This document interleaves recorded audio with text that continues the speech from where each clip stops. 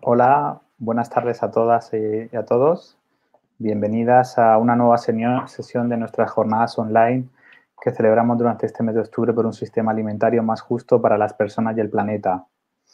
Estos eventos que venimos celebrando durante este mes están enmarcados en el mes de acción por un internacional contra la agricultura industrial, organizado por la campaña Good Food, Good Farming y que apoyamos desde Amigos de la Tierra.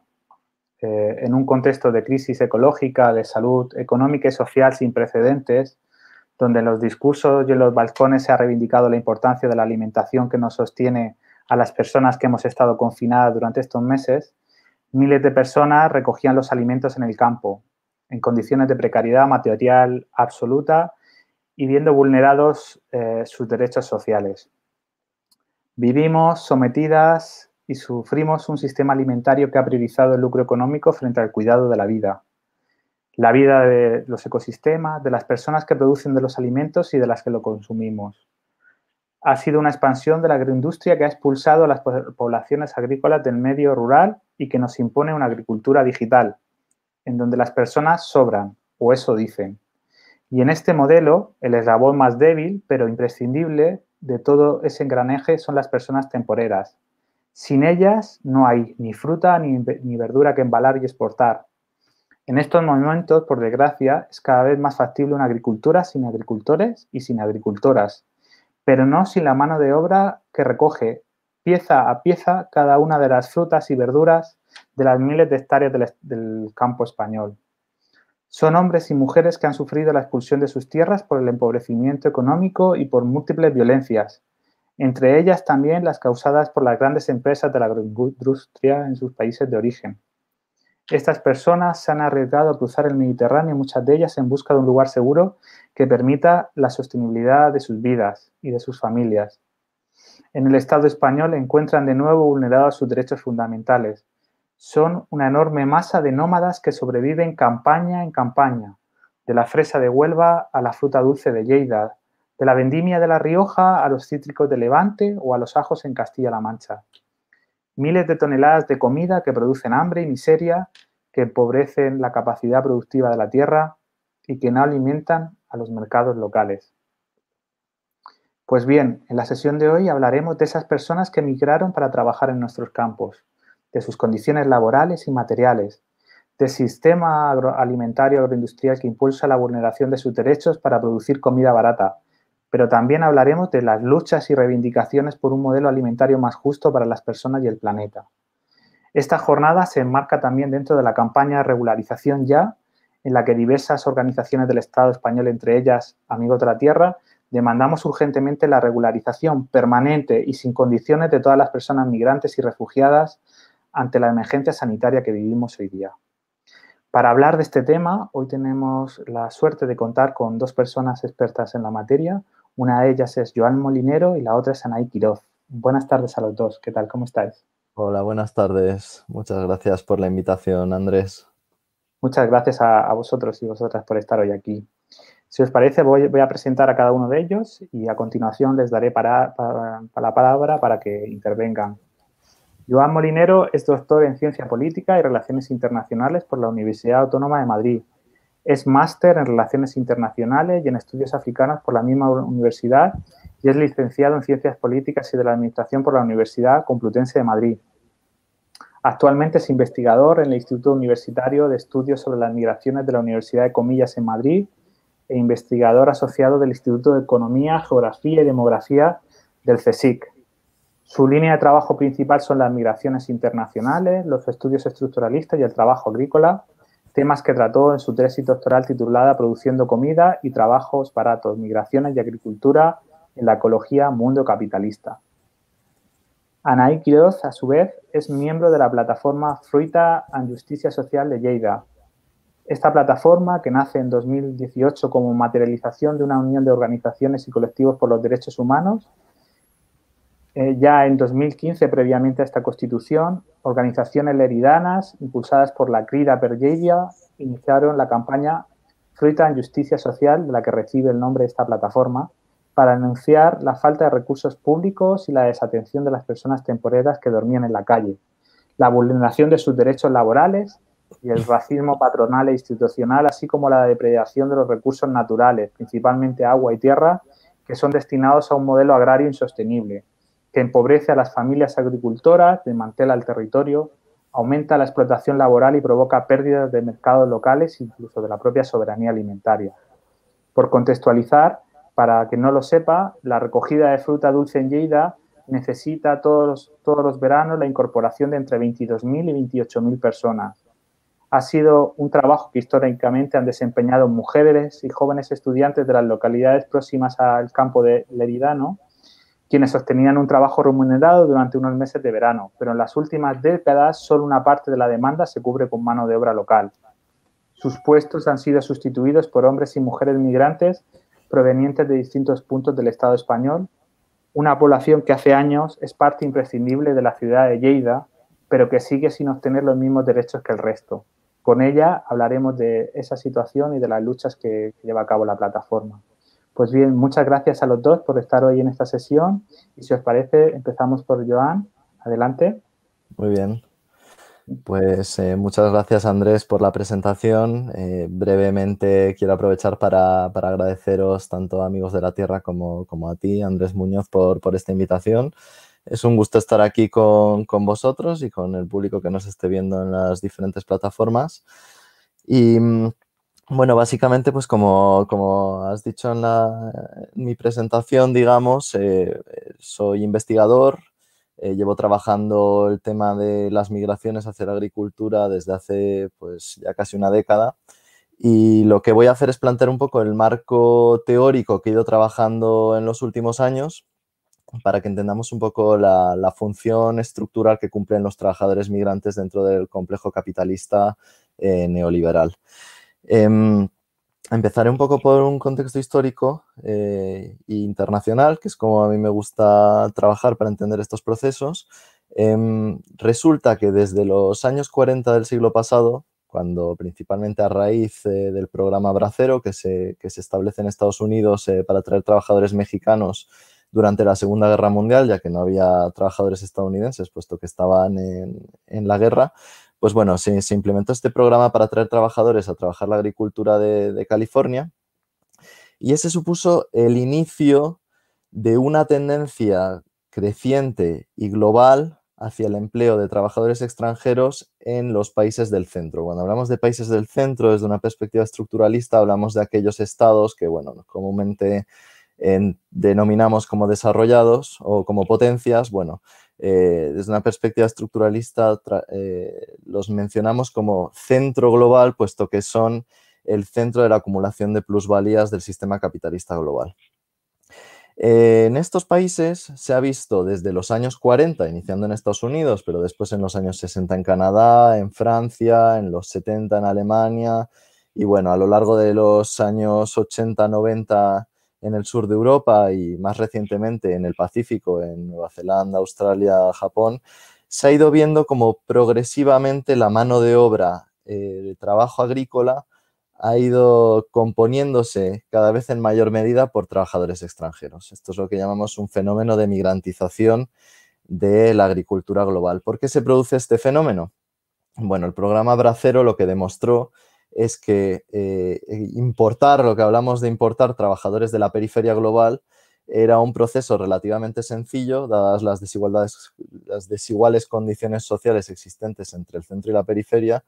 Los estados periféricos solían tender a ser cooperativos en, esta, en este tipo de dinámicas, puesto que, bueno, eh, les reportaba beneficios económicos, reducía el desempleo local y mantenía buenas relaciones con las potencias, ¿no? Entonces, con la complicidad de los gobiernos de origen se demostró que instaurar programas de migración temporal permitía a los estados del centro disponer de una mano de obra barata a la que se podía pagar el salario mínimo, como después explicaré, eh, muchas veces por debajo de ese umbral legal, y en ingentes cantidades, que eso, es lo importante. Esa experiencia demostró al resto de, sectores agrícolas eh, del centro que, bueno, que era, que era beneficioso eh, traer trabajadores periféricos y emplearlos en una agricultura que estaba cambiando. Estaba cambiando hacia el modelo industrial que antes ha mencionado Andrés y que es muy importante para entender eh, la conformación del panorama actual. Eh, Más allá de este, del bajo coste y de la disponibilidad, hay factores demográficos y, ecosociales, digamos, que, explican también la, necesidad de tener este tipo de trabajadores. Por un lado, eh, durante el periodo neoliberal, bueno, hubo una terciarización de las economías avanzadas donde bueno, pues se empezó a, ofrecer trabajos mejor remunerados en el sector servicios sobre todo, pero bueno, en estados como el español, pues también eh, sectores como el de la construcción ofrecía trabajos mejor remunerados que, el trabajo agrícola. Por lo tanto, esto atrajo a poblaciones eh, rurales a migrar a las grandes urbes para, pues, pues para tener, disponer de condiciones eh, de trabajo mejores y vació el campo, ¿no? Tanto que se habla de, la despoblación eh, del campo, bueno, este es uno de los fenómenos. Otro de los fenómenos es demográfico, es decir, las poblaciones que sí permanecieron en estos enclaves eh, fueron envejeciendo progresivamente y no se fue dando esta sustitución eh, natural, esta sustitución social, digamos, de, trabajadores locales puesto que, como he explicado antes, pues el sector agrícola era cada vez menos atractivo por su baja remuneración, pero también por elementos como el bajo prestigio social que está asociado a este tipo de trabajo.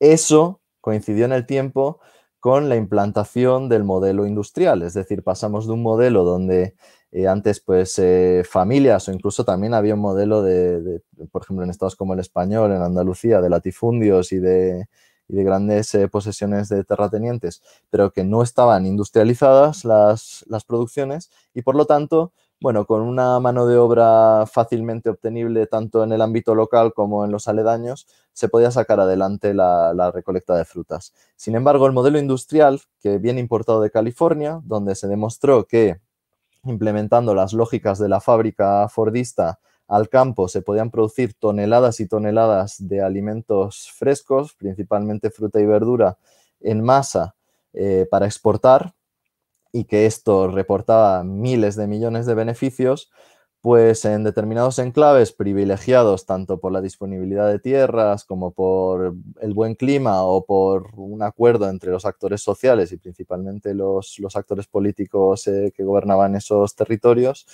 eh, pues eh, se convirtieron a la agricultura industrial, por ejemplo, en el caso, por, acercarnos ya al caso español, que es el que más eh, conocerá la audiencia, en nuestro caso el gran ejemplo es Almería, ¿no? Con donde se implementaron las tecnologías del invernadero y que ahora mismo suponen la mayor concentración de invernaderos por metro cuadrado del mundo. pero también en Murcia, por ejemplo, se, digamos, se construyó un gran complejo agroindustrial y en los enclaves que ha mencionado Andrés antes, pues también en, Huelva con la fresa, en Lleida con las frutas eh, de pepita, etc. Se van conformando estos enclaves de agricultura industrial, pero claro, si no hay mano de obra local eh, en un momento en el que se necesita mucha más mano de obra de la que ya se necesitaba antes en el campo, cuando ya existían dificultades para obtenerla, pues em, la solución que se encontró fue mirar hacia el programa Bracero y empezar a emplear migrantes. Em, no todos los estados han empleado, no solo todos los estados, sino todos los enclaves de los estados han empleado las mismas lógicas para apropiarse de este tipo de trabajadores. Eh, hay diversos eh, canales que han sido empleados. El más llamativo es el, son los programas de migración temporal, nuevamente a imagen y semejanza del bracero, pero cada uno con sus especificidades. Em, Canadá principalmente utiliza solo programas de migración temporal para, traer de México y el Caribe los trabajadores que necesita su agricultura industrial. En España tenemos el programa eh, de contratación en origen, que principalmente ha sido aplicado en, Huelva, pero también en Lleida, aunque está cada vez más en desuso. Eh, y bueno, más países, Francia, eh, Alemania, los países nórdicos, eh, Israel, eh, Japón, bueno, muchos estados han empezado a emplear este tipo de mecanismos que requieren de esa relación bilateral que mencioné con los estados de origen. No siempre se ha empleado esto porque hay otras dinámicas que permiten apropiarse de, de los trabajadores necesarios para la industria. Una de ellas es la irregularización.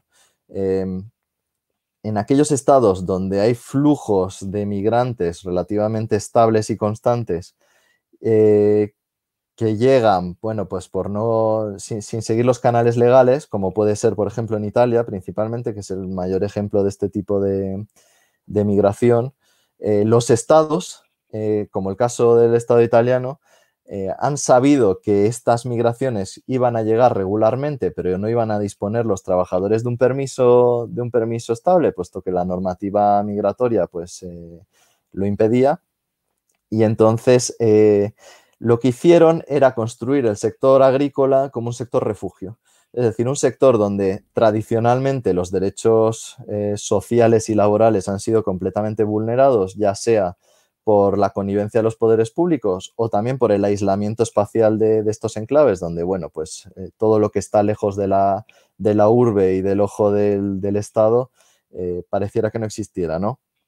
Pues eh, haciendo, echando la vista hacia un lado, digamos, se permitía que estos enclaves continuaran empleando o, bueno, vivieran del empleo de trabajadores irregulares que ya estaban en el territorio y estos trabajadores pensaban, bueno, pues eh, si quiero empezar mi vida en Italia o en el sur de España, em, qué mejor que empezar en la agricultura donde sé que pese a no tener un permiso eh, regular, pues voy a poder encontrar un empleo. ¿no? Ese ha sido uno de los mecanismos que también han existido y que en el Estado español, junto con, con los programas de temporeros, eh, han convivido. Por ejemplo, en Huelva, antes de la contratación en origen, era la principal fuente de apropiación de trabajadores, quienes cruzaban el estrecho y deambulaban por, el sur de España.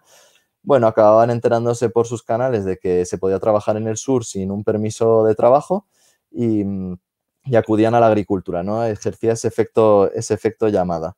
Y luego, en nuestro específico caso europeo, existen las migraciones intraeuropeas. Es decir, el marco europeo construyendo a los ciudadanos de la Unión Europea como ciudadanos con libre movilidad, no en todos los casos, puesto que aquellos que no pertenecen al acuerdo de Schengen, pues solo pueden moverse libremente los trabajadores.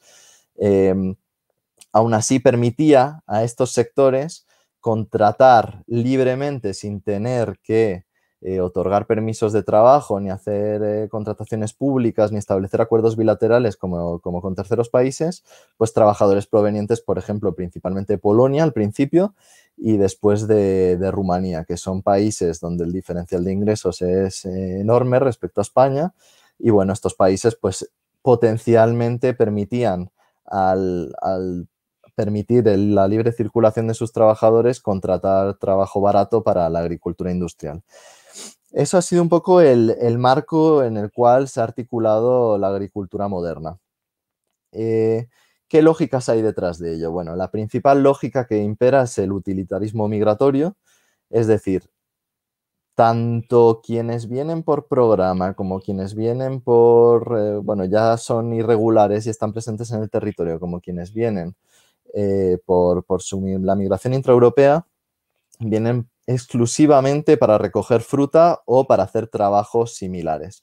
Es decir, que em, frente a discursos que quizás el público haya escuchado, como el de la triple ganancia, el triple win, ¿no? que, está siempre en la boca de la Unión Europea, donde se habla de que es una, un tipo de inmigración donde se benefician los tres actores involucrados, el estado de origen, el estado de destino y los propios trabajadores. Por eso sería una triple ganancia, ¿no?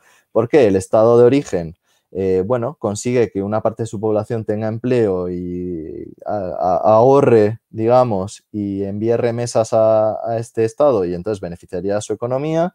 El estado de destino se beneficia porque necesita mano de obra y los propios migrantes porque encontrarían un trabajo eh, cuando previamente estaban desempleados. Bueno, esta lógica es eh, un vende humos, digamos, porque el único interés que existe es tener trabajo barato. ¿Por qué el trabajo tiene que ser barato? Bueno, pues en el capitalismo neoliberal, eh, donde la competición entre empresas es global, ya no existen los mercados nacionales, em, el precio de la fruta tiene que ser mínimo para ser competitivo.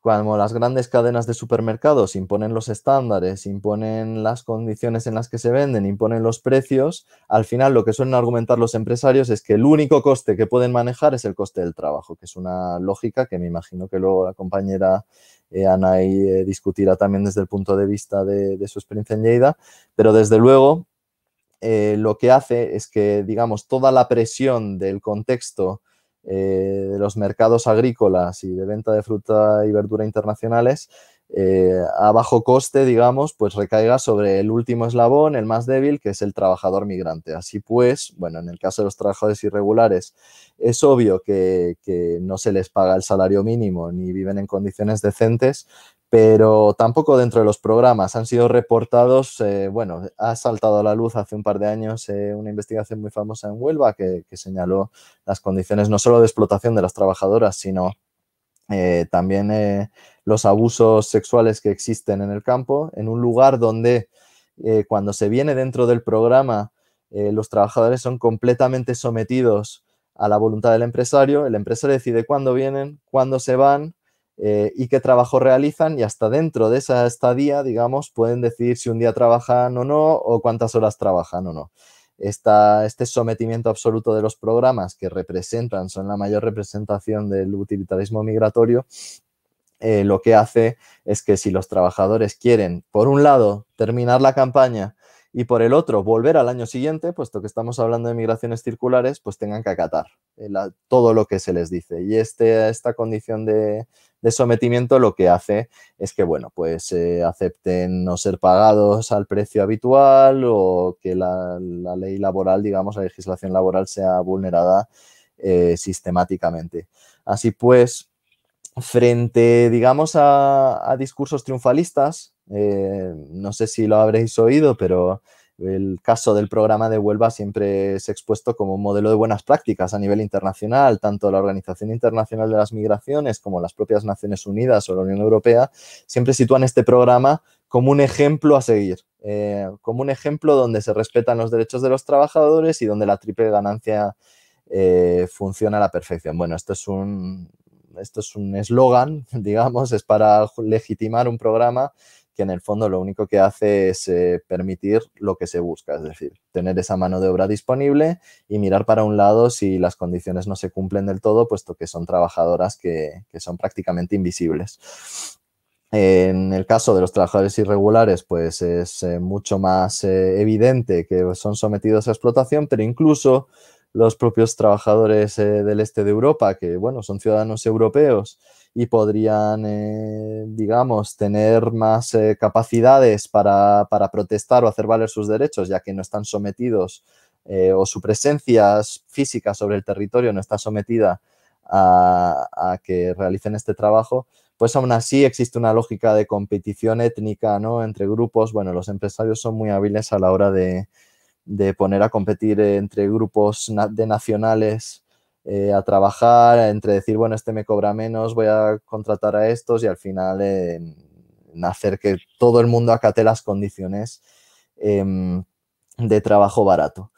Dentro del programa, generalmente existía una cierta ventaja respecto al resto de colectivos y es que los empresarios, y ahí sí que están vigilados por ley, tenían que alojar a los trabajadores. Entonces, bueno, supuestamente eh, estos trabajadores extranjeros disponían de un alojamiento, generalmente dentro de las fincas, que más o menos cumplía los estándares legales. Muchas investigaciones han señalado eh, problemas de hacinamiento y infraestructuras eh, decadentes, pero mm, más allá de eso, sí que existía una cierta ventaja entre estos trabajadores respecto tanto a las migraciones intraeuropeas como a los trabajadores irregulares, que solo eh, siendo empleados por el trabajo, los empresarios, al no tener la obligación legal de darles un cobijo, pues debían deambular por el territorio. Y ahí es donde entran todas las imágenes que, todos hemos visto de trabajadores eh, pues viviendo en chabolas, eh, como el asentamiento de Lepe, tan famoso y que tantas veces lamentablemente ha sido quemado.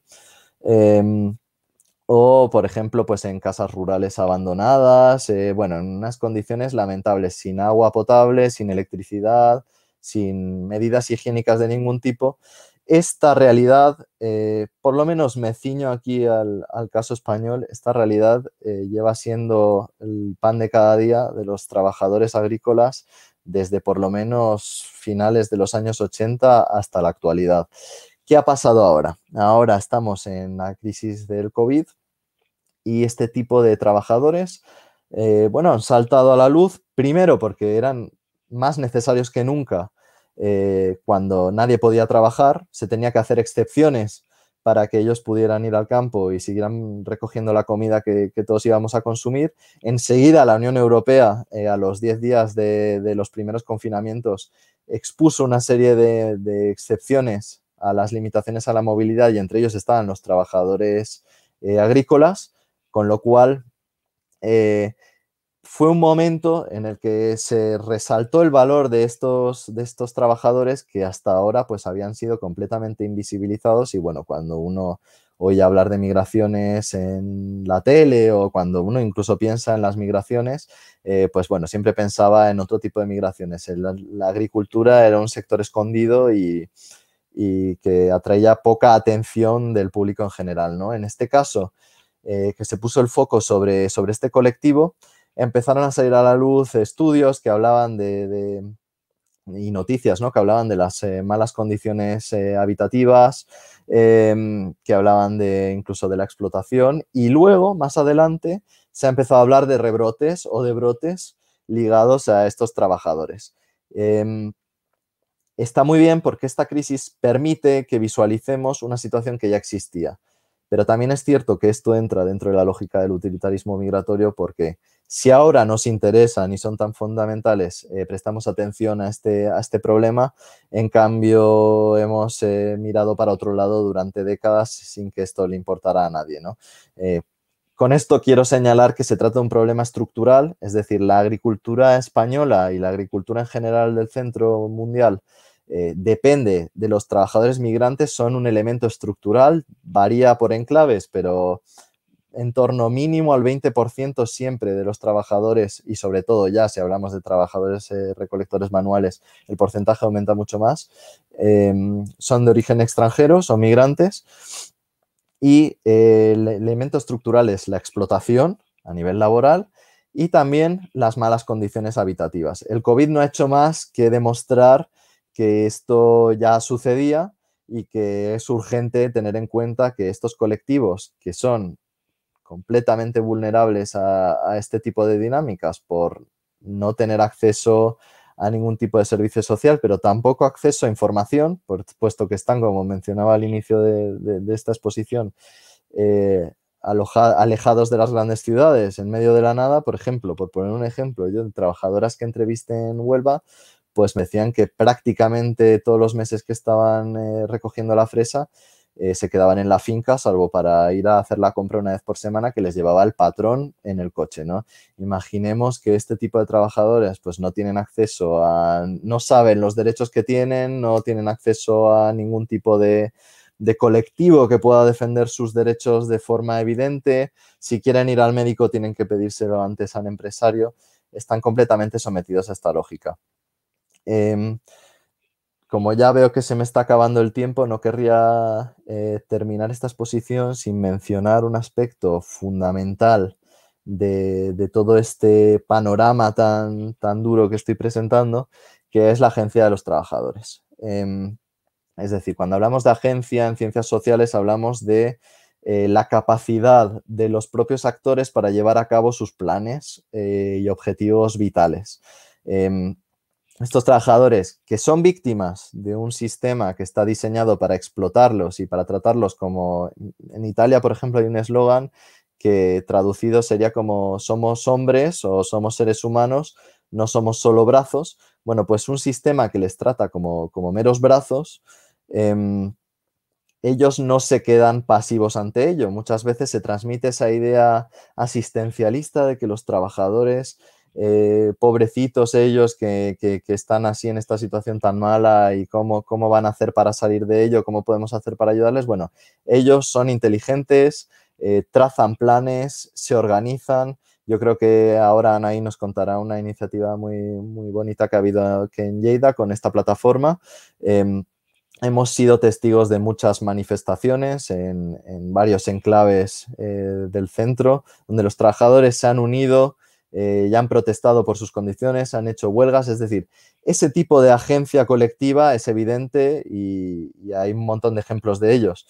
Pero también me gustaría centrarme en la agencia eh, individual y personal que muchas veces es opacada. A veces cuando vemos un trabajador sometido a este tipo de condiciones, eh, pensamos que es un trabajador oprimido y que prácticamente no tiene voluntad. Bueno, hablando con estos trabajadores, uno puede entender que muchos de ellos son plenamente conscientes de la explotación que sufren, de las condiciones en las que están trabajando, de lo pésimo que es todo y de que no se respeta la ley, pero aún así ellos siguen trabajando porque tienen objetivos. Por ejemplo, en algunos casos, eh, en Huelva, por ejemplo, si se repite más de tres campañas, se puede optar a un permiso permanente. Entonces, bueno, eso puede ser un objetivo de algunos de los trabajadores. Me someto a este contexto tan duro para optar a una residencia permanente en España y ya quizás saltar y trabajar en otro sector, en un trabajo más estable y traerme a mi familia, ¿no? por ejemplo, en Italia muchos me decían que para regularizarse eh, necesitaban eh, tener trabajo. Cuando hay una regularización masiva se tiene que demostrar que existía una relación laboral. Entonces ellos seguían trabajando en la agricultura para no solo optar a la regularización, sino que una vez regularizados eh, mantenían estos trabajos durante cinco años para poder optar al permiso permanente y después poder irse a otro sitio de Italia, a otro sitio de Europa y obtener esa carta de libertad. ¿no? Es decir, que no solo son trabajadores explotados y oprimidos, que sí lo son, sino que también muchas veces hay que entender, no, hay que tener ese ojo colonial sobre, sobre los extranjeros, pensando que directamente eh, son víctimas pasivas de esta situación, sino que ellos mismos despliegan sus propias acciones, sus propias, eh, con sus propias capacidades, trazan sus planes vitales y a veces eh, someterse a este tipo de situaciones sin, llevar a cabo acciones de protesta también es parte de desplegar eh, su propia agencia para después, más allá del contexto eh, en el que están trabajando, pues revelarse ante, ante esa situación y decir me voy y hago mi vida, ¿no? Eso también es parte de la situación. Y bueno, creo que ya he terminado mi tiempo, así que estaré encantado de responder preguntas más adelante por aquellos temas que no haya tratado. Muchas gracias a todo el mundo.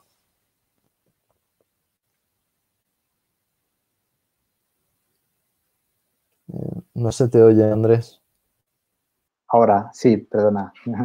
Decía, gracias Joan por, haber hecho una foto tan completa de, la situación de las personas migrantes en el campo como un problema estructural que has dicho y también por, dejar constancia ¿no? de, que, de la capacidad de agencia de, estas personas en sus luchas y en sus reivindicaciones y en sus trayectorias vitales.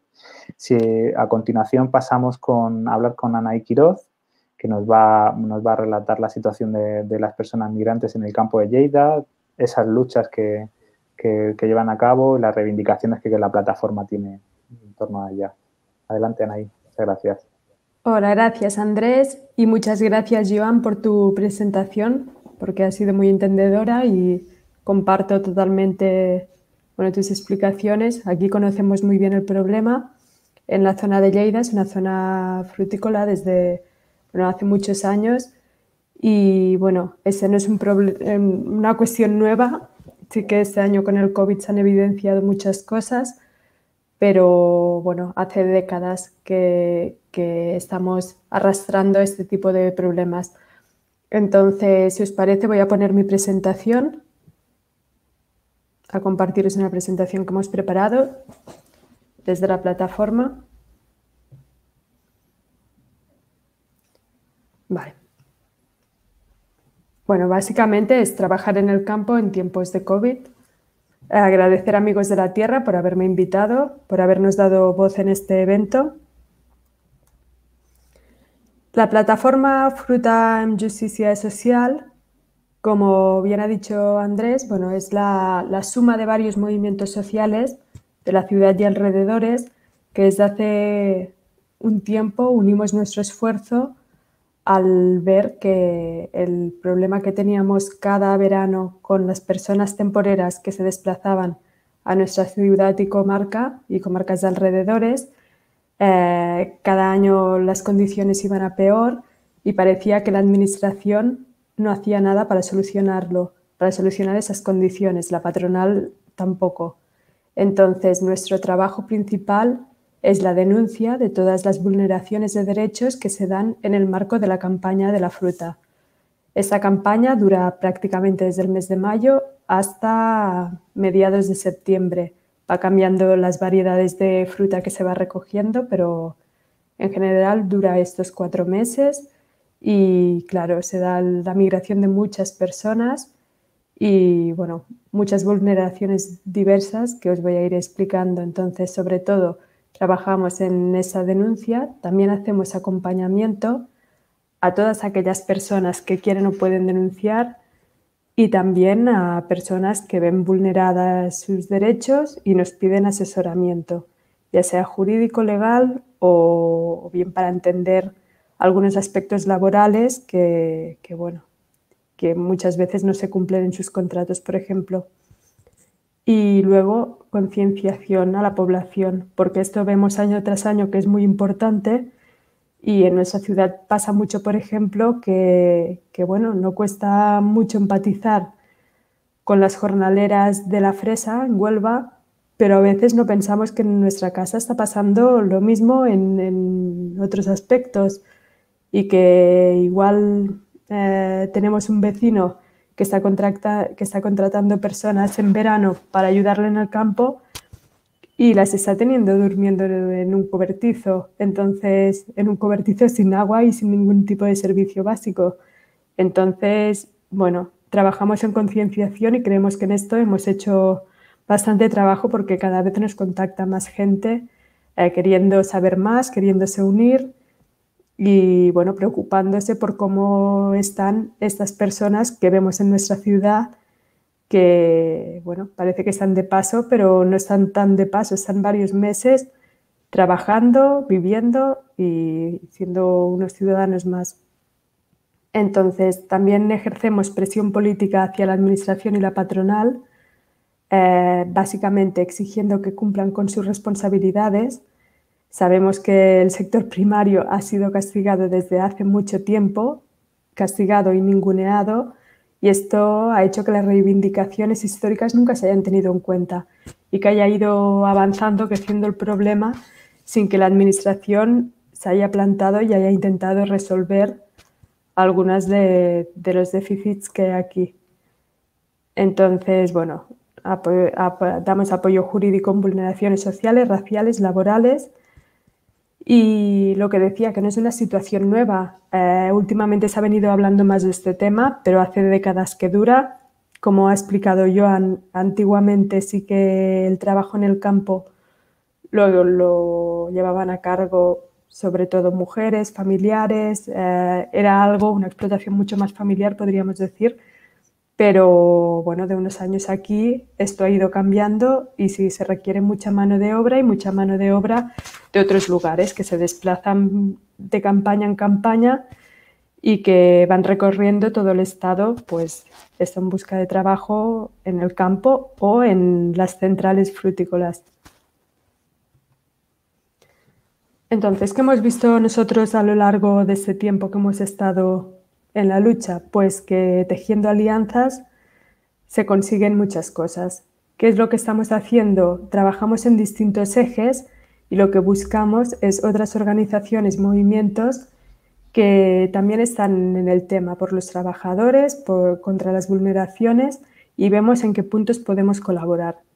Por ejemplo, en el eje de política de fronteras y ley de extranjería eh, encontramos eh, afinidades y hemos visto que podemos trabajar juntos con Sorracismo, con el sindicato Mantero. De hecho, esta foto que veis aquí a la izquierda es una charla que organizamos junto a ellos y en los que, bueno, vino Lamin, el presidente del sindicato Mantero, y tuvimos bueno, la presencia de una abogada de la plataforma también que asesoró en distintos aspectos legales.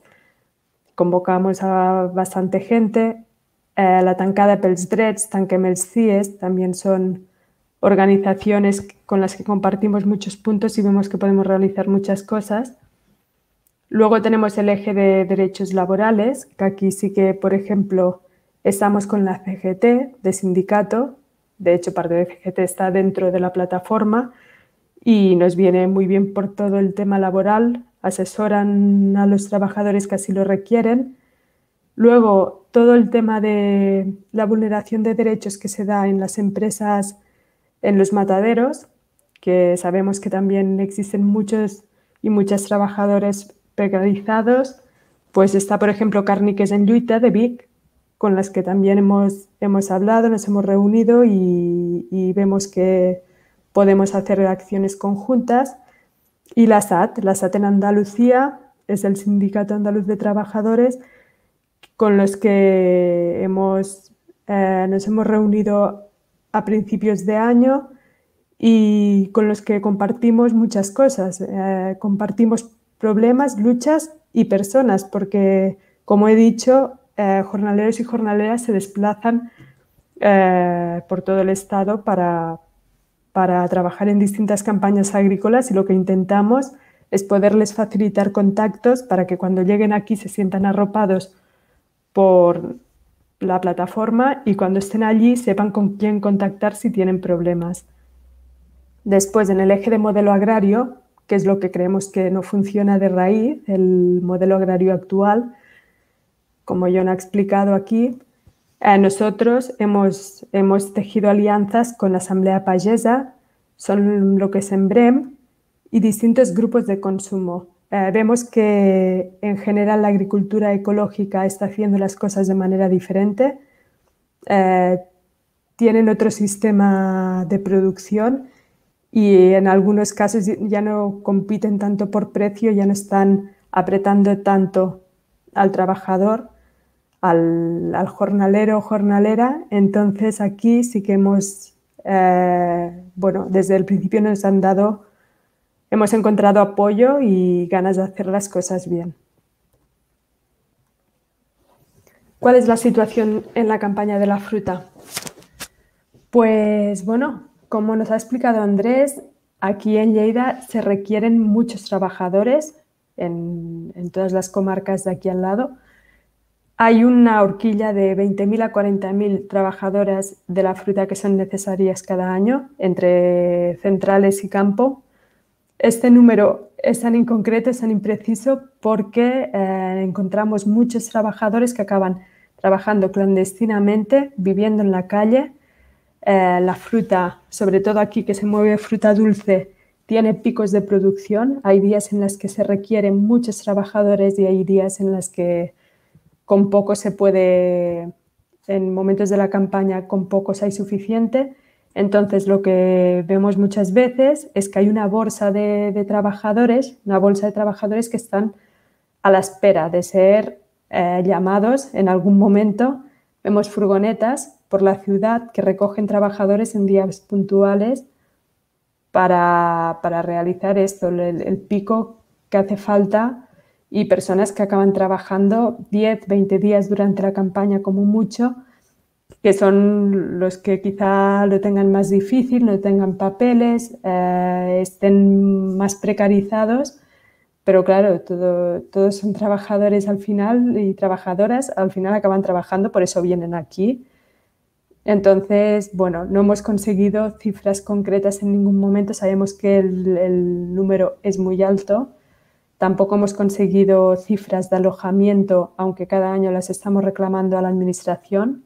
Hay albergues privados y albergues eh, públicos en los pueblos, pero siempre cuando se trata de dar número concreto de plazas, mm, salen los problemas, sobre todo porque el alojamiento es insuficiente. Lo vemos cuando vemos centenares de personas durmiendo en las calles entonces, bueno, lo que intentamos hacer cada año, este año ha sido más difícil por la limitación en desplazamientos, es hacer recuentos pueblo a pueblo y ver la gente que está durmiendo en la calle, gente que está viviendo allí, dónde trabajan, si trabajan o no y cómo. Y hablando con esas personas muchas veces, pues bueno, descubrimos todo este sistema que hay dentro para, para conseguir mano de obra a muy bajo precio muy precarizada y a la que se le vulneran casi todos sus derechos.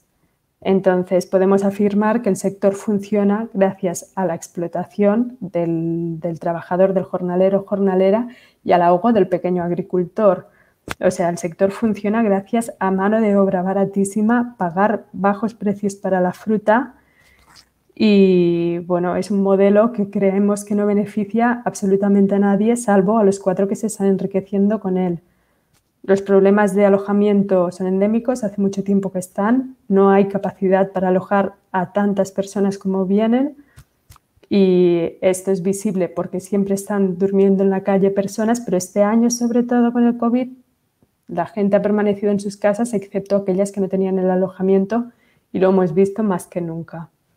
Entonces, el modelo falla.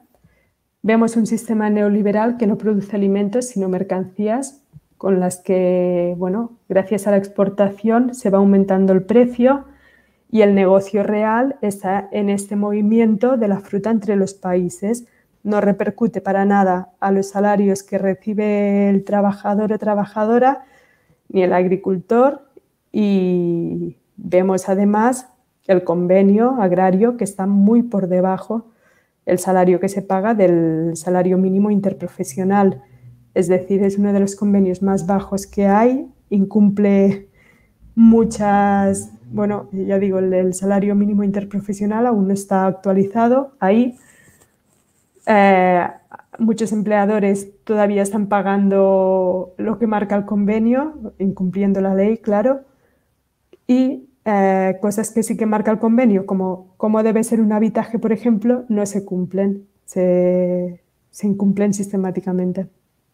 Aquí abajo vemos una foto bueno, de unas viviendas improvisadas que se han fabricado. No son raras esas imágenes en las afueras de los núcleos urbanos y bueno, es la manera que encuentran muchas de las personas que vienen a buscarse la vida en verano aquí en Lleida.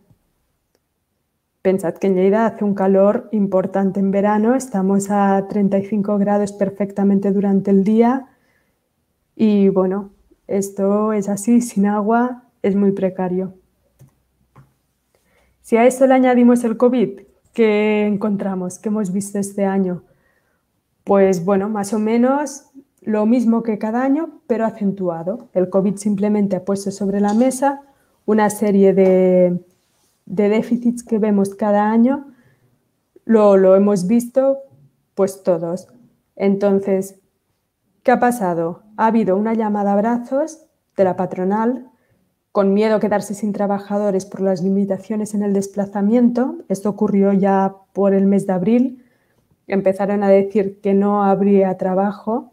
De hecho, algún, algún sindicato, bueno, sindicato no, asociación patronal agraria, eh, llegó a insinuar que se regularizaría a cualquier persona que viniera aquí a trabajar en la fruta. Esto empezó a circular por todos los grupos, nos llegaban un montón de consultas de personas en otras provincias que habían escuchado que si venían aquí a trabajar los, regularizarían y bueno, esto hizo mucho daño porque provocó una respuesta masiva, gente que también debido al COVID se había quedado sin sus trabajos habituales en hostelería, incluso haciendo la manta en paseos marítimos, llegaron aquí en masa Encontramos también promesas vacías de las administraciones, no supieron gestionar la situación, eh, solo hubo un protocolo de medidas contra el COVID que no eran ni de obligado cumplimiento, era una serie de recomendaciones para las empresas. Entonces, falta de alojamiento, que si ya he dicho que cada año se quedaba corto, en este caso lo que nos pasó fue que muchos albergues de los pueblos que tienen la suerte de tenerlos se cerraron a la espera de si había de confinar a alguien. Entonces encontramos eh, alojamientos que eran pues, albergues públicos y privados, también pabellones, también escuelas que habían habilitado con este fin, con alojamiento, que se quedaron vacíos y cerrados por si hubiesen casos de COVID. ¿Qué pasó? Que algunos de estos alojamientos ya se utilizaban cada año, ya tenían plazas para 30, 40 personas. ¿Que resultaban insuficientes? Sí, pero es que esas 30 o 40 personas se sumaron a todas las que ya regularmente dormían en la calle. Entonces encontramos una falta de alojamiento más importante que otros años. Además, al estar el resto de personas en sus casas, se hizo muy evidente que en pleno confinamiento había eh, muchas personas durmiendo en la calle. ¿Qué más? Pues la falta de higiene. Eh, como ha explicado Joan, hay la obligación, bueno, de hecho, en el convenio agrario marca que cualquier trabajador eh, jornalero que se desplace a más de 75 kilómetros de su residencia habitual debe tener un alojamiento proporcionado por el empleador y este alojamiento tiene unas condiciones que debe cumplir. Bueno, esto del convenio hay personas que lo cumplen, hay personas que no. Eh, lo que pasa muchas veces es que esos alojamientos son muy precarios. Se dan en almacenes, se dan en cobertizos, muchas veces no tienen agua potable, mm, no tienen baños o tienen muchísimas personas en, un mismo, en una misma habitación, pues claro, todo eso es bastante incompatible con toda la higiene que debíamos tener por el tema del COVID. Además de esa higiene en los alojamientos, también se dio la falta de higiene en empresas, en empresas que, eh, aunque pusieran separación en algunos momentos, pusieran geles, pusieran mascarillas, no podían evitar que en momentos de, de mucho trabajo amontonara a las personas en el mismo sitio.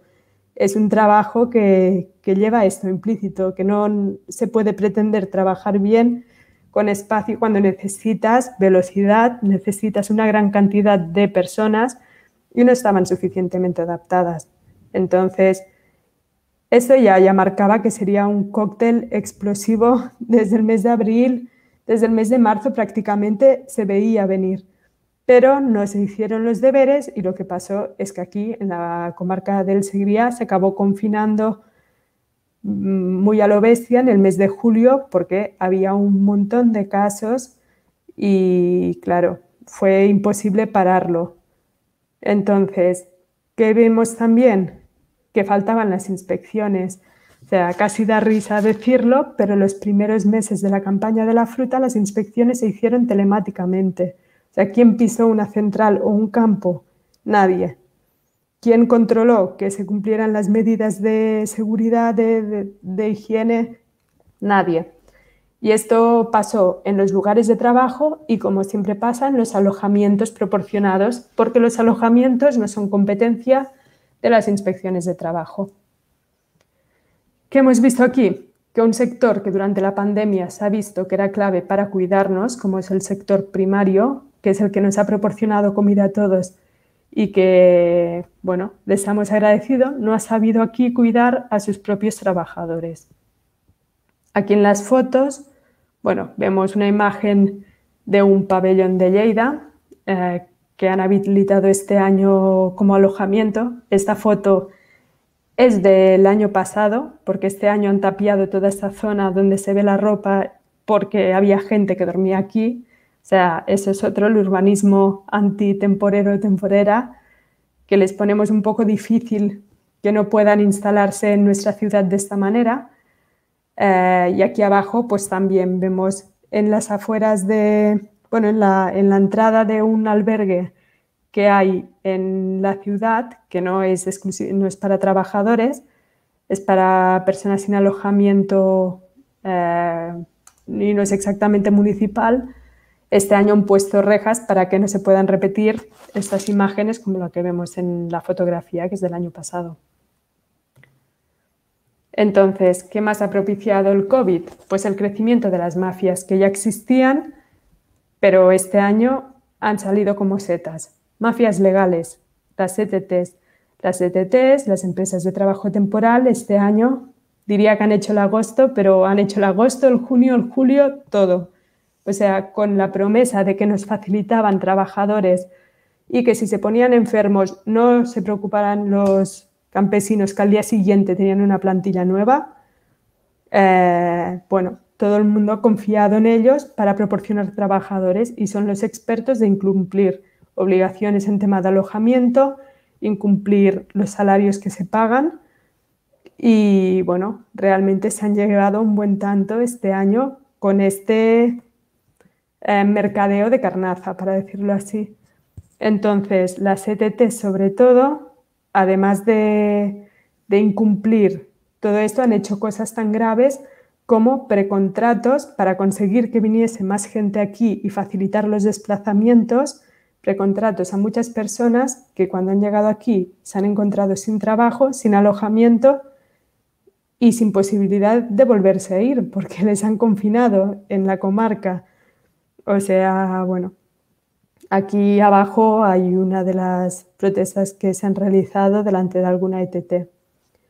Crecimiento de mafias ilegales, las que venden papeles directamente, las que consiguen trabajo a la gente directamente a cambio de dinero, las que las redes de trata de personas, que cada año desmantelan alguna y vemos que aquí en Lleida hay muchas personas que han llegado así, y las alegales, que esas se forman entre propias comunidades y que se facilitan alojamientos, desplazamientos, pero eso hacen que aumentar pues como lo que acaba gastando el trabajador y a fin de mes casi se queda sin nada porque solo puede acceder a este alojamiento, por ejemplo, por estas vías muchas veces, porque está claro que si viene aquí una persona a trabajar en verano para dos meses sin saber exactamente dónde va a trabajar, nadie le va a alquilar un piso, aunque tenga el dinero. ¿eh? eh y claro, acaban poniéndose en una habitación con cinco personas más que les alquila a alguien sin ningún tipo de contrato ni garantía. Y bueno, eso lo vemos cada año y es terrible todo lo que se llega a generar en la ciudad eh, con esos movimientos. Entonces, ¿qué hemos encontrado? También criminalización y auge del racismo. Con todo el tema del confinamiento, eh, vimos que el racismo estaba creciendo desenfrenadamente. ¿Qué hemos intentado desde la plataforma? Pues va a transmitir otro mensaje e intentar frenar discursos de odio. Eh, esto, por ejemplo, son unos carteles que hemos hecho. El primero corresponde a uno que hizo el ayuntamiento para, bueno, de prevención de COVID en uno de los en verano. Y nosotros hicimos el de al lado, copiando un poco el modelo, pues para, para visibilizar el tema y concienciar a la población. Y bueno, corrió bastante. Estamos contentas de, de lo hecho y de que, bueno, al final la gente va tomando conciencia de que tenemos que cuidar a todos los trabajadores y trabajadoras, provengan de donde provengan. Este también fue un cartel que hicimos, bueno, un díptico que emulaba uno de, de, la Generalitat, creo, contra el COVID y nosotros lo que hicimos fue un cartel pues pidiendo que el próximo rebrote no fuera el del racismo, entonces, ¿cómo podíamos prevenir el racismo? Pues no difundiendo informaciones falsas, eh, actuar delante del racismo y la, xenofobia, no callar, que es responsabilidad de todos, convertir la frustración contra el nuevo confinamiento en indignación por las condiciones a las que se ven abocadas esas personas y señalar los, verdaderos responsables de, toda esta precariedad. Entonces, animábamos a la gente a denunciar cualquier cosa, actitud que viera. Nosotros eh, incorporamos un teléfono para hacer denuncias, para hacer consultas y la verdad es que hemos estado recibiendo durante el verano muchísimos mensajes, tanto de personas que estaban trabajando en lugares donde se incumplían sus derechos, como personas que eran testigos o presenciaban o querían denunciar alguna situación que pasaba cerca de su casa y estamos muy contentas con esto también porque realmente hemos podido, han sido nuestra, nuestros ojos ¿no? y nuestros oídos a pesar del coronavirus, ya que no hemos podido desplazarnos como hacíamos habitualmente. Esta es una de las charlas que hicimos este año, no charlas, perdón, una rueda de, una rueda de prensa en Afrucar, eh, bueno, asociación Asociación de Empresarios dedicados a la agricultura. Y aquí simplemente bueno, denunciamos la vulneración continuada y la falta de asunción de, de responsabilidades de la patronal. Entonces, siempre la acusación que recibimos cada año, siempre es que criminalizamos al sector, un sector que ya está machacado de por sí, nosotros vamos y lo criminalizamos y los países en general lo hacen bien y es una muy pequeña parte la que incumple, nosotros lo que nos gustaría mucho es que fuera desde el propio sector donde se denunciaran las prácticas eh, las prácticas de vulneración, las prácticas de incumplimientos de contratos, que fuera las mismas personas que lo están haciendo bien quienes denunciaran esto que al final les está haciendo competencia desleal. Lo que encontramos aquí, bueno, es que esos derechos se vulneran mucho más de lo que pensamos y que rascamos un poco y siempre encontramos más. Entonces, no vamos a dejar de denunciarlo, no queremos para nada hundir ningún sector, al contrario, estamos muy a favor de la agricultura, pero las cosas deben hacerse bien y se debe luchar por un modelo que favorezca tanto a los agricultores en general, a los jornaleros, jornaleras que se desplazan y a nosotros como consumidores. Entonces, este año hemos visto más difícil el trabajo de calle, no obstante, hemos podido hacer bastantes denuncias, eh, trabajar en la concienciación, hemos ofrecido asesoramiento legal en los casos donde se nos ha pedido ayuda y hemos recordado la obligación del empadronamiento, que realmente es una puerta eh, a muchos servicios básicos necesaria para todas las personas que viven desplazándose y eh, es muy difícil de que los ayuntamientos cumplan con sus obligaciones de empadronar a las personas que viven en el municipio, sea por un mes, por tres meses, por cuatro. Y siempre que eh, tengan casa, no tengan casa, vivan debajo de un puente, se deben empadronar. Y es la única manera de demostrar arraigo, de poder acceder a la tarjeta sanitaria, a los servicios básicos de médico, escolarización de hijos. Entonces, seguimos insistiendo con el derecho al empadronamiento y la obligación de empadronar a todo aquel que lo solicite y esté viviendo en el municipio. Y bueno, esto es nuestra reivindicación histórica de un sello de la fruta con justicia social. Nuestro objetivo es crear un sello que permita garantizar que la fruta ha sido recogida, ha sido manipulada libre de explotación y cumpliendo todos los derechos de los trabajadores y trabajadoras. Entonces, bueno, vamos poco a poco creando los pasos necesarios para hacerlo. Y estamos contentos porque últimamente nos contacta gente para eh, cambiar un poco la manera, para saber cómo deben hacerlo para hacer las cosas bien. Y bueno, básicamente esa ha sido mi presentación. Creemos que hay mucho margen de mejora y esperamos que ahora que tenemos por delante muchos meses hasta la próxima campaña, las administraciones se pongan en serio en ello y podamos llegar al mes de mayo con los deberes hechos esta vez. Muchas gracias. Muchas gracias, Anaí, por, primero por vuestro trabajo, por haber participado en, estas jornadas con, con, vuestra presentación y por ilustrar ¿no? con el caso de, los trabajadores, trabajadoras migrantes de Lleida, la situación de muchos temporeros y temporeras en el campo español. Decía al inicio Joan ¿no? que la situación de estas personas es un problema estructural, que no es una cuestión coyuntural por esta situación de emergencia sanitaria y hemos visto también en que en el caso de Lleida es una situación que este año se ha agravado, pero que ya viene de largo. Yo, si os parece, voy a ir trasladando las preguntas de las personas que nos han seguido por, por, los canales de YouTube y de Facebook. Animo nuevamente a que las personas que nos están siguiendo nos eh, envíen más preguntas y voy a trasladaros ya algunas de las que han hecho algunas de estas personas. Muy bien. En primer lugar, y creo que es un poco en relación a la, a la intervención primera de Joan, dice una de las personas, dice, si lo de Huelva era un, pro, un programa ejemplar, cómo serán los otros. No sé si, si quieres comentar esto ah, sobre la ejemplaridad de Huelva sí. y que son peores, pero...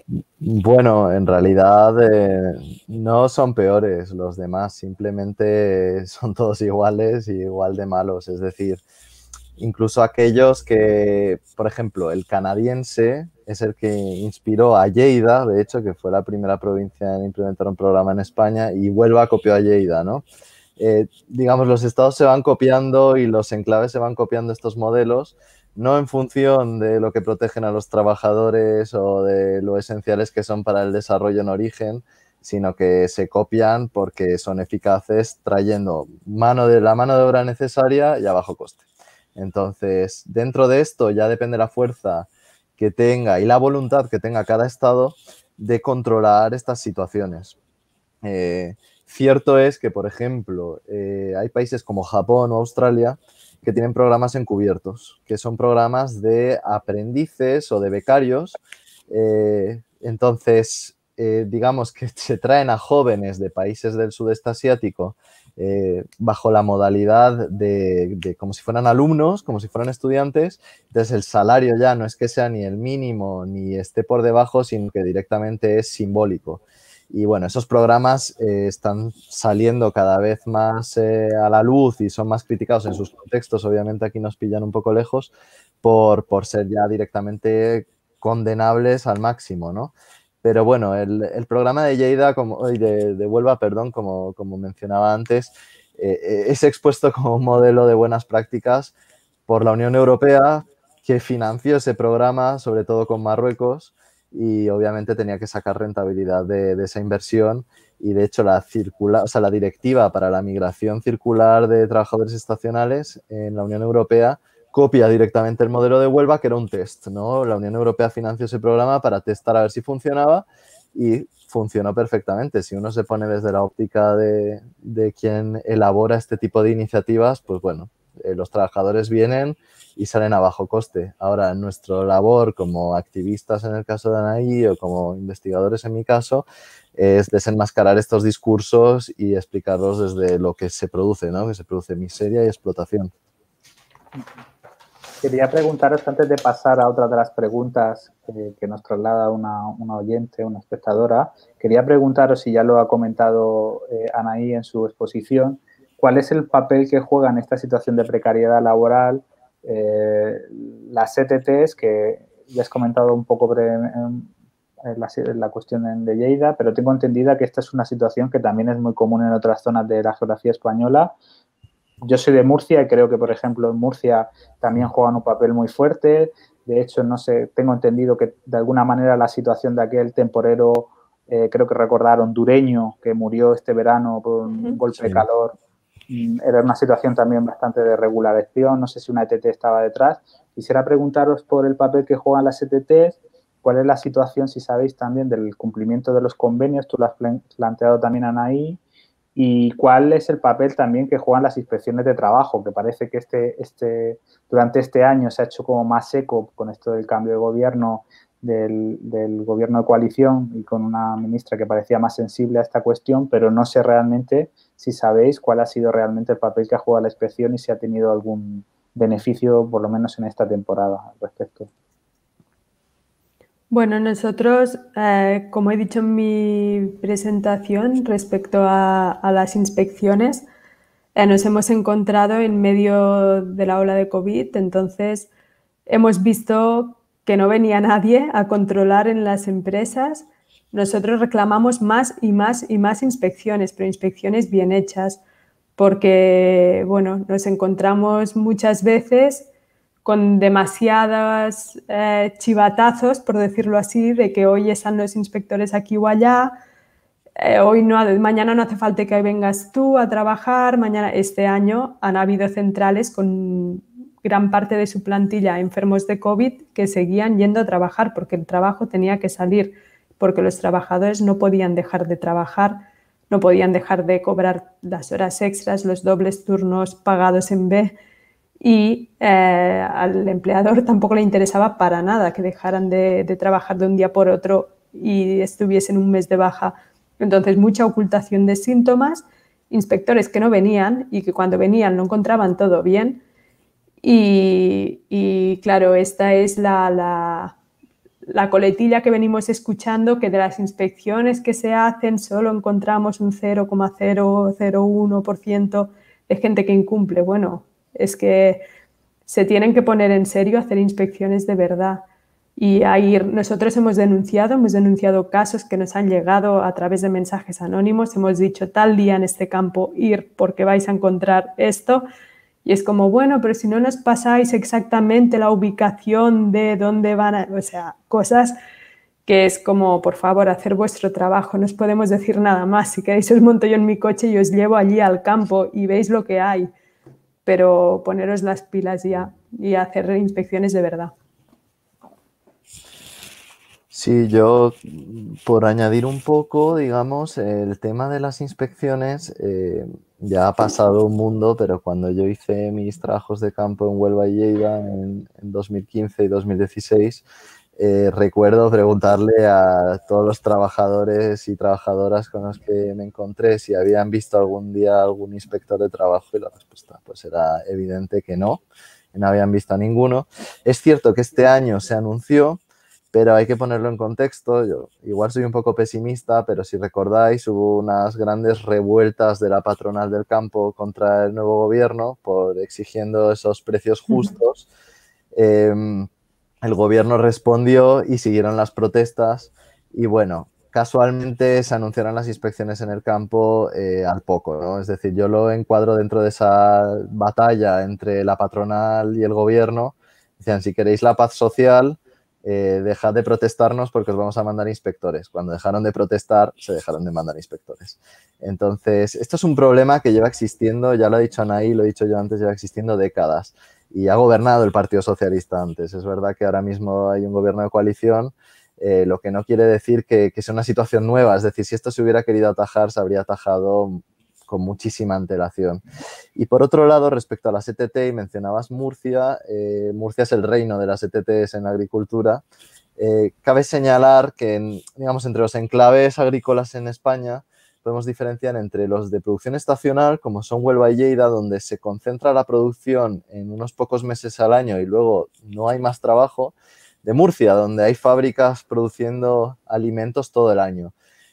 En, eh, Lleida ciertamente tienen un cierto impacto las ETTs, en Huelva menos, pero en Murcia, sobre todo, eh, imperan y campan a sus anchas. ¿Por qué? Porque los empresarios las utilizan para seguir esa lógica de la contratación estacional dentro de una producción anual. Es decir, si yo te contrato a través de una ETT, te pago dos, tres meses y luego veremos. Si te contrato y te tengo trabajando y como siempre tengo trabajo todo el año, pues cuando baje un poco la producción voy a estar obligado a pagarte.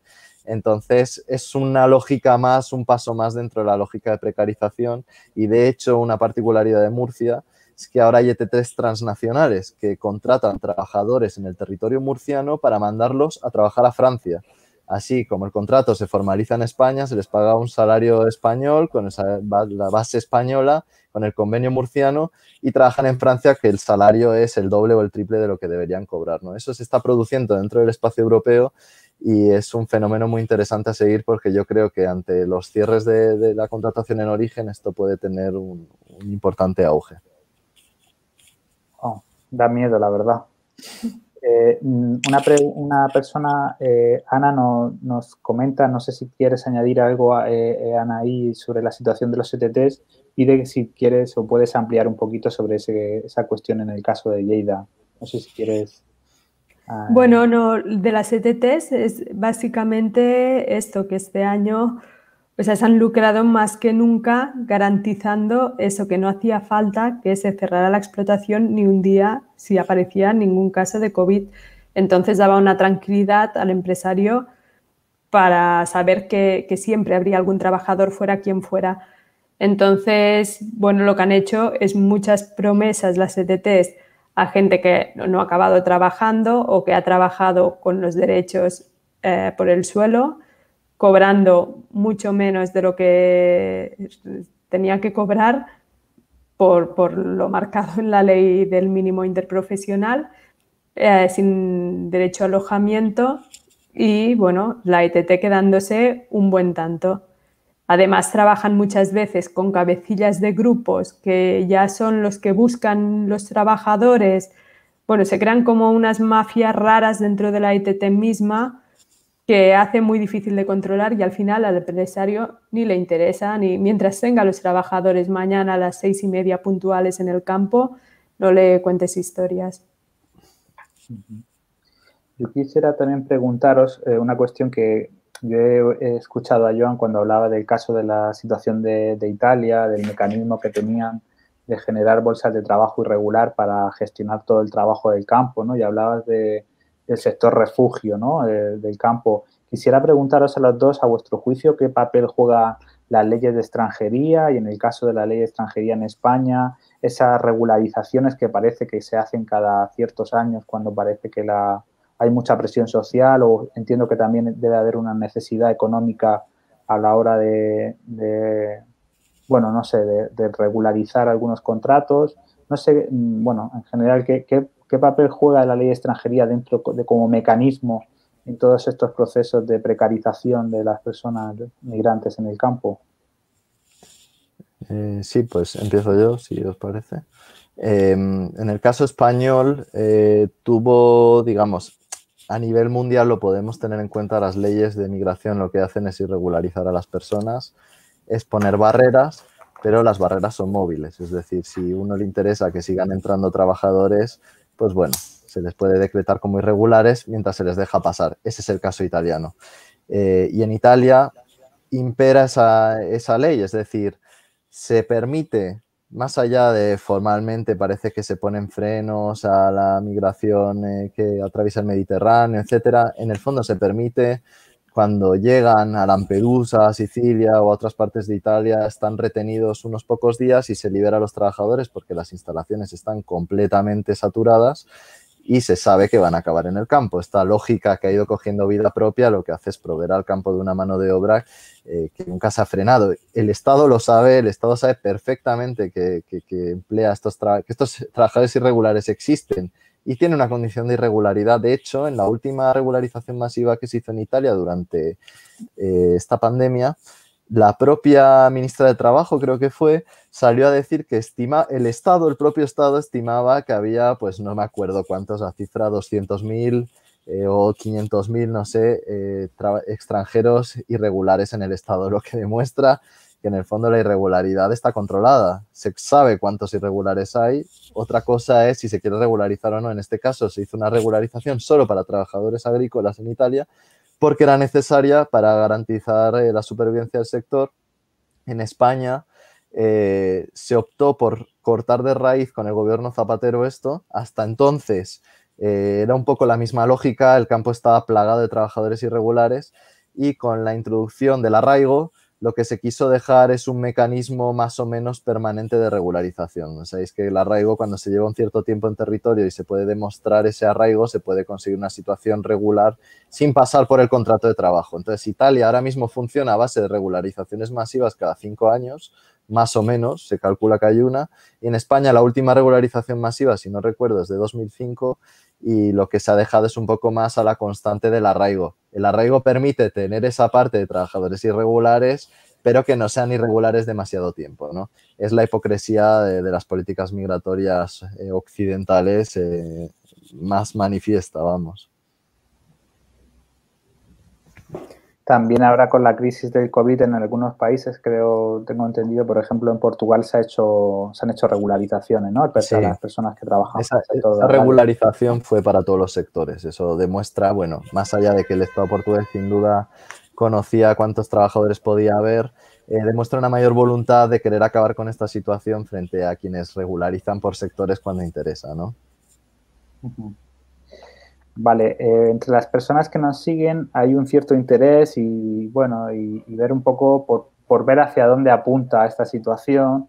Eh, nos pregunta, por ejemplo, Julio, pues dice la patronal y supongo que los gestores públicos dirán con la boca pequeña que esto no puede cambiar de golpe, que sería la muerte del sector y de la economía, que no pueden competir con, con otros países qué hay de cierto en esto o más bien cómo podemos darle la, la, vuelta, la vuelta al discurso y entiendo que a la situación de, los trabajadores eh, migrantes en el campo y su precariedad. ¿Qué, os parece? Sí, bueno, yo creo que habrá un cambio sí o sí en los próximos años, en la próxima década diría, la, la población, los, los agricultores, pequeños agricultores, es una población envejecida y no tiene seguimiento generacional, al menos aquí en Lleida, y vemos cada vez más tierras en manos de grandes tenedores que son los que se lo están quedando al final y empresas eh, totalmente, bueno, y fondos de inversión que se están quedando con tierras y que están eh, montando otro tipo de explotaciones que nada tienen que ver con los campos pequeños de toda la vida que han habido aquí. Entonces, eh, cambios habrán seguro. Me temo que si la administración no mete mano van, van a ser a peor. Entonces, bueno, no sé si Joan tiene una visión más optimista del tema, espero que sí, pero yo no veo mucho, bueno, mucha mejora en los años inminentes, a no ser que se cambie totalmente o empecemos un modelo nuevo. Sí, yo lamento tener una visión incluso más pesimista. Eh, igual soy un poco, aquí peco un poco de, teórico, pero si tomamos en cuenta, eh, bueno, en los marcos estructuralistas, digamos, el capitalismo histórico desde el siglo XVI se ha dividido en fases históricas de acumulación.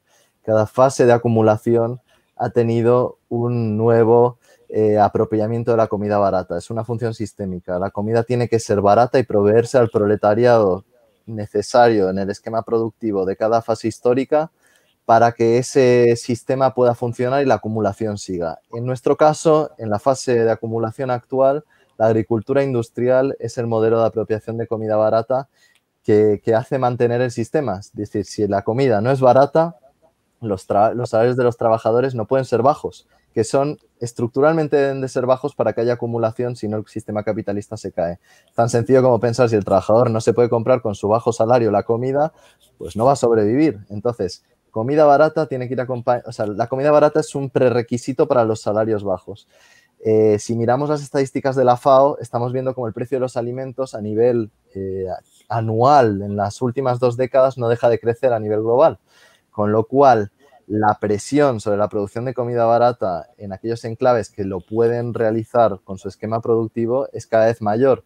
Si el Estado español, lamentablemente, y espero que así sea, eh, empieza a poner, a hacer inspecciones, a mejorar las condiciones de los trabajadores, eso repercutirá sin duda sobre el precio de la comida y eso hará que la comida no sea competitiva y otros enclaves globales empezarán a producirlo. Por ejemplo, ya hay empresarios de Huelva que se han deslocalizado a Marruecos, es decir, están al lado, producen lo mismo, pero mucho más barato y bueno, si el Estado español empieza a poner pegas eh, con las condiciones de trabajo de las trabajadoras, pues siguen en Marruecos y lo mandan a la Unión Europea, ¿no?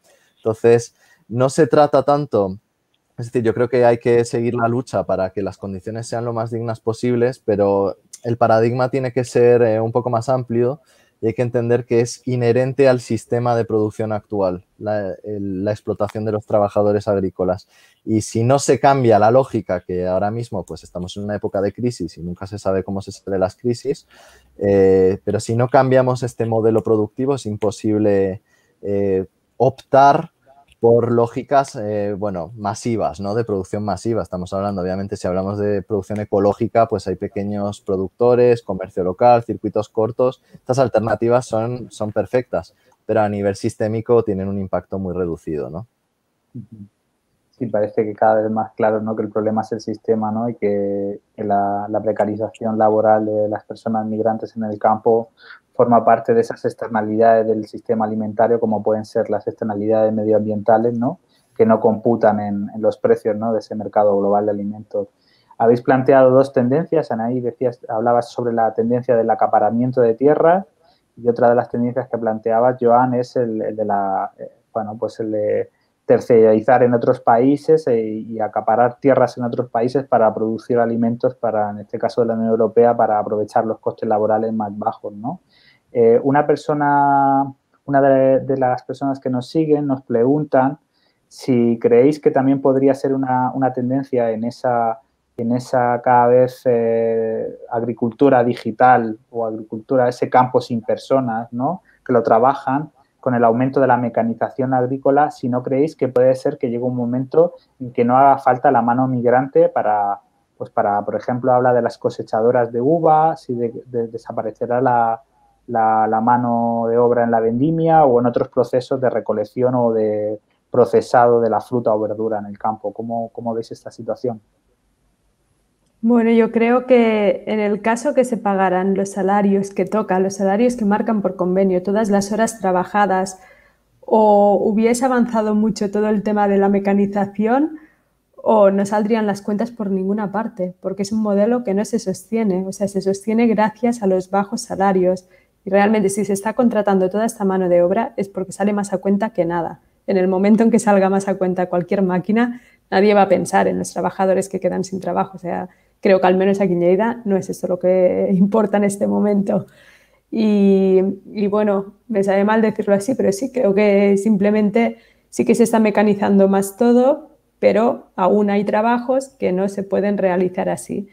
Y hay trabajadores que trabajan muchas, muchas horas seguidas a cambio de muy poquito o nada y muy pocas quejas. Y eso es lo que conviene para que el negocio del campo siga rodando y funcionando. Sí, yo coincido plenamente. Es decir, se mecaniza si es más barato que tener trabajadores. Es así de sencillo, pero teniendo en cuenta que toda la tecnología punta agraria viene principalmente de California, no solo es cara de importar y son máquinas caras, sino que el mantenimiento también se hace fuera.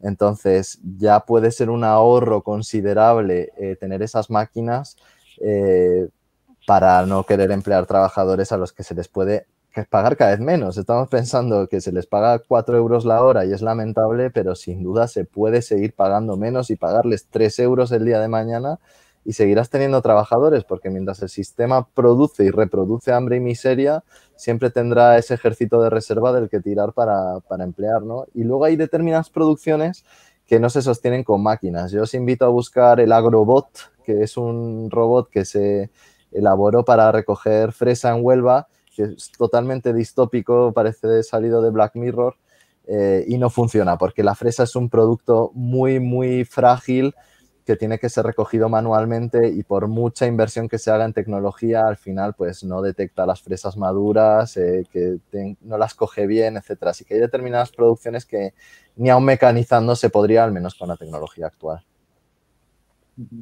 Entiendo que, la mano de obra migrante eh, barata en el campo español sigue la misma tendencia que, que, nosotros jugamos como país en España, ¿no? De, de factoría de mano de obra barata dentro de ese engranaje ¿no? mundial de producción. De, eh, por ir cerrando, eh, es casi la hora que nos habíamos dado para finalizar. Si os parece, me gustaría ir terminando con, una pregunta una pregunta que nos llega de, nuestro público y cerrar con otra que me gustaría trasladaros a, a vosotros. Nos pregunta Betina, que ya habéis apuntado algunas cuestiones, pero ¿Cuál creéis que va a ser la tendencia de la agricultura? Entiendo, no, no menciona el caso español o mundial, pero si creéis que vamos hacia cada vez una agricultura más intensiva e industrial, o, por suerte podría haber una capacidad de resistencia por otros modelos, tú apuntabas ya, Anaí, en el caso de Lleida, ¿no? de, un, otro modelo de agricultura ecológica o ecológica, donde el precio de la mano de obra pueda, un precio justo pueda ser reflejado en el producto final ¿Cómo creéis que está esa lucha y cómo creéis que puede ser la tendencia al respecto? Bueno, nosotros eh, creemos en el poder del consumidor. El, consumidor al final pide lo que se acaba comercializando y lo hemos visto en muchos sectores. Y si el consumidor se pone fuerte reclamando eh, fruta con justicia, fruta buena fruta en la que no se realicen determinadas prácticas puede llegar a presionar a sus gobiernos para que eh, cambien algunas cosas, pero claro, el consumidor, el, consumidor, eso es una lucha un poco David frente a Goliat, entonces necesita ayuda y no puede ser tampoco que las administraciones no hagan nada, eh, se deje todo el mundo empresarial, los grandes lobbies detrás presionando aquí, porque hay cosas que no están a la basta. Entonces, eh, por eso nosotros abogamos mucho por la concienciación, por eh, poner sobre la mesa todo este tema y que la gente se dé cuenta de que con sus consumos, con sus opciones, está eligiendo un modelo a seguir, pero a la vez reclamamos que se, que se cumplan las cosas que marca la ley y que se hagan las leyes convenientes para regular todo esto y, que la administración haga su función y empiece a considerar a los trabajadores del campo y a las personas desplazadas también sus propios ciudadanos, porque esto sí que es un problema que nos encontramos mucho aquí. Por ejemplo, a nivel de municipios, eh, alcaldes y alcaldesas que tienen unos fuertes intereses con el sector agrícola, porque principalmente puede ser que ellos mismos tengan una explotación agraria y que siempre se dirijan simplemente a los empresarios agrícolas y no hagan políticas para esas personas que cuatro o cinco meses están viviendo en su pueblo. Sí, yo aquí haría dos breves apuntes. Em, la, digamos, siendo conscientes de cómo es el sistema y de que a día de hoy, aunque hay que seguir luchando por cambiarlo, es, lo que rige, existe algo que se llama política agraria común, que financia desde la Unión Europea a productores agrícolas que explotan a trabajadores, y eso es una responsabilidad directa de la Unión Europea, pero también del gobierno que ejecuta los fondos, que es el gobierno nacional. Eh, si se subsidia la agricultura, se debería subsidiar parte de los salarios para que la fruta, la verdura pudiera seguir siendo barata, cumpliendo ese rol sistémico, sin que por ello esté basada y apoyada en la explotación de los trabajadores. Yo sí que creo que el cambio tiene que venir desde arriba, tiene que prohibirse, vigilarse y controlarse y promoverse desde los gobiernos que, esta producción eh, sea sostenible socialmente, no solo productivamente. Y, mm, y lo que creo es que, eh, digamos, si no se, o sea, si lo dejamos en manos de los consumidores, creo que una parte de los consumidores sí que tiene conciencia y va a intentar consumir, por ejemplo, la iniciativa del sello que propone la plataforma Frutam Justicia parece perfecta, pero también tenemos que tener en cuenta que quien está ganando, porque es también otra víctima del sistema, está ganando 800, 900 euros al mes y se va a comprar unos tomates, pues va a comprar los más baratos porque es que el salario no te alcanza para otra cosa.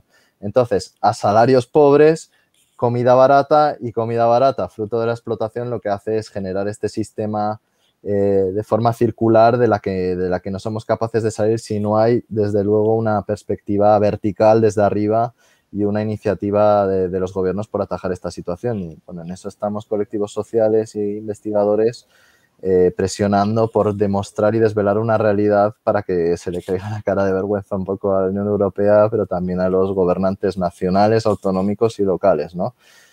Hay que tener esperanza, hay que luchar, pero bueno, está, está complicado de momento.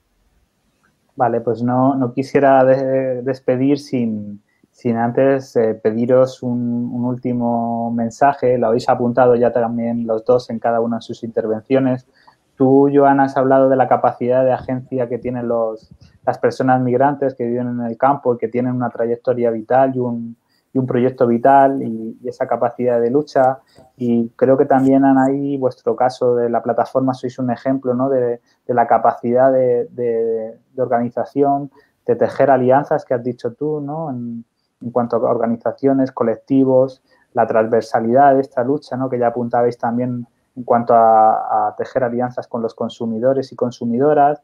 Nosotros también como organización ecologista que tenemos eh, grandes alianzas a nivel internacional, por ejemplo, con el movimiento de Vía Campesina y con, y con aquí en Estado Español, con algunas organizaciones agrarias, creemos que, que habéis planteado que el problema es un problema estructural, un problema donde el modelo alimentario busca una comida barata porque, porque forma parte de este engranaje más global, pero sí quería preguntaros o que cerráramos con un, con, bueno, pues un mensaje, si queréis cada uno, o decir un poco la importancia, cómo veis esa importancia de tejer alianzas y si el cambio de modelo es posible, si fuera posible, qué papel jugarían estas alianzas entre organizaciones y personas, ¿no?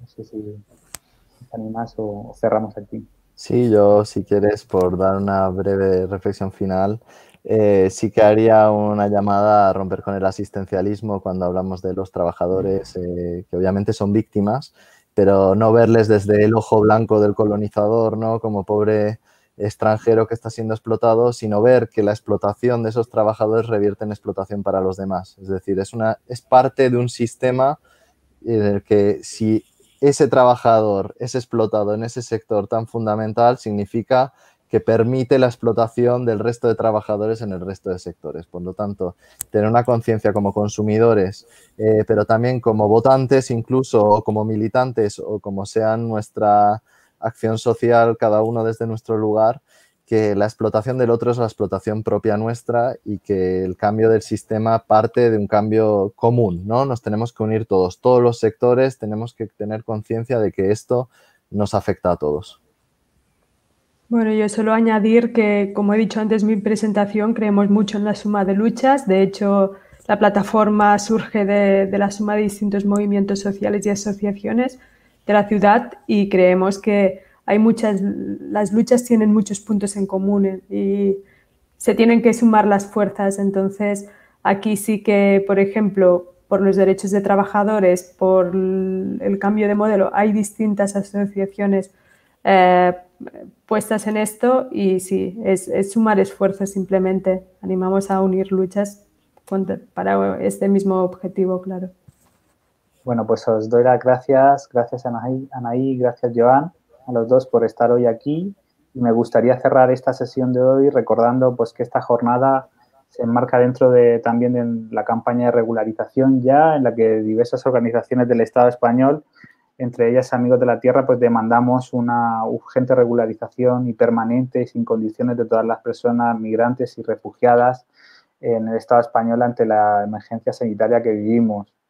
Actualmente se calcula que puede haber en torno a 600.000 personas en situación regular administrativa irregular y que han desempeñado mayoritariamente trabajos que hemos considerado esenciales durante esta crisis del COVID y que entendemos que esperan una respuesta gubernamental justa. Hay más de 1.500 organizaciones y colectivos que demandamos esa regularización. Y también quería aprovechar hoy, además, enviar un mensaje de solidaridad y apoyo al Sindicato de Manteros de Barcelona y al Espacio del Inmigrante, que están sufriendo estos días la amenaza de desalojo en sus locales del Raval de Barcelona por parte de CaixaBank. Transmitir que su lucha es nuestra lucha, es la lucha por un sistema eh, sistema alimentario más justo, un mundo más justo para, las personas y para el planeta y agradeceros a todas el haber asistido ya a estas jornadas y invitaros a la sesión próxima del próximo 16 de, de octubre, viernes, que presentaremos nuestro informe sobre ganadería y su contribución con el cambio climático junto al BC3. Muchas gracias a todas y hasta la semana próxima.